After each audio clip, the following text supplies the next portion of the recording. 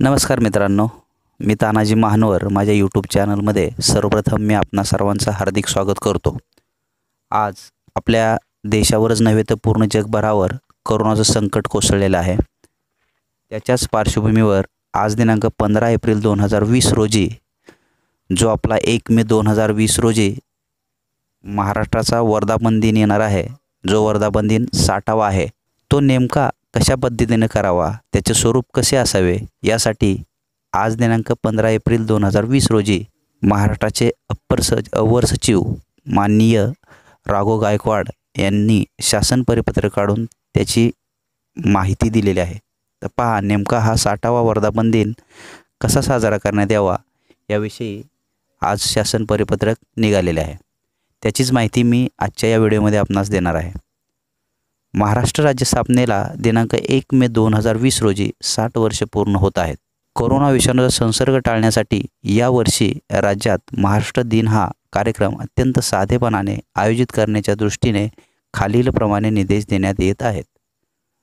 एक राज्यातील मंत्रालय व सर्व जिल्ह्यात जिल्हा मुख्यालयातील जिल्हाधिकारी कार्यालये. या ठिकाणी एकाच वेळी सकाळी आठ वाजता फक्त ध्वजारोहण करण्यात यावे.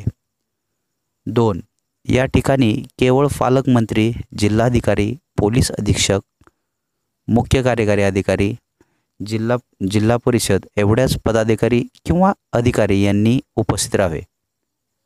तीन इतर मान्यवरांना आमंत्रित करण्यात येऊ नये. चार कवायतीचे आयोजन करण्यात येऊ नये.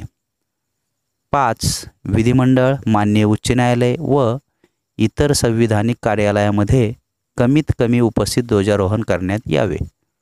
सहा. ध्वजारोहण करणारे पालकमंत्री महोदय काही अपरिहार्य कारणामुळे कार्यक्रमस्थळी उपस्थित न राहू शकल्यास जिल्हा मुख्यालयी जिल्हाधिकारी यांनी ध्वजारोहण करावे. सदर परिपत्रक हे आपल्या महाराष्ट्राचे राज्यपाल यांच्या आदेशानुसार व नावाने निर्गमित करण्यात आलेलं आहे.